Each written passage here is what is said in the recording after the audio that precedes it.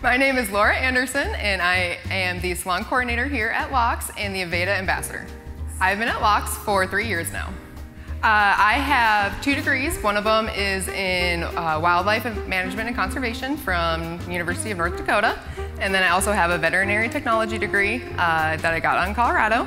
And now I've been doing a lot of education for Aveda and uh, furthering my career in that. My favorite aspect is probably coming to work with all your best friends and being really excited to see everybody and just know it's gonna be an awesome day.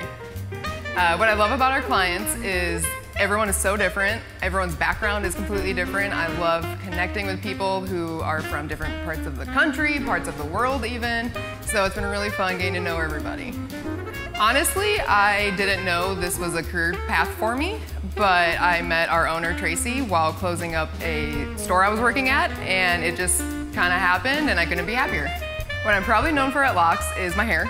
Uh, the curls definitely make me stand out, and probably my love for Aveda and being earth conscious. Uh, what I love most about being part of the Aveda tribe is all of the opportunities it has given me and furthering my career and opening up doors I never thought possible or that they even existed. So I'm really excited to see where this journey takes me.